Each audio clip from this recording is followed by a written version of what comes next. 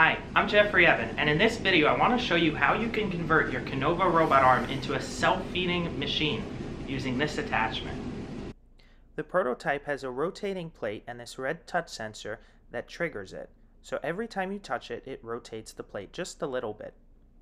Like the objects in the other video, this one is also designed to fit well into the Kinova gripper so you get a good firm grasp so you can easily pick it up and eat foods like sushi.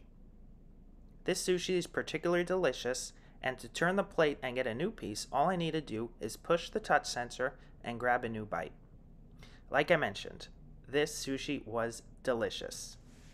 You can also use this device over here that also fits well with the gripper, and it will let you hold books or even paintings. The mouthpiece that I'm using to hold the brush was designed by my friend Annalie Perez, who's a brilliant designer in California. And you can see how I can easily paint uh, full paintings just using my mouth and the Kinova robot arm. I hope you enjoyed this video. If you did, be sure to check out my other videos on some other cool quadriplegic devices I've made. Thanks for watching.